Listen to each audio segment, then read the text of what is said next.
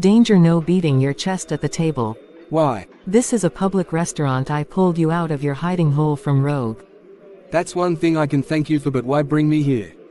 Because you need time away from making videos. He won't know that Fleetway I'm going to hurt him. What was that queen? Oh it was nothing just talking to myself. Okay let's finish up eating and not pay. Is it because we're made up actors? Yes. Also a danger when you get home I left you a little gift. Really can't wait to see it. Let's get 3 likes to get the next video out. Ho ho ho.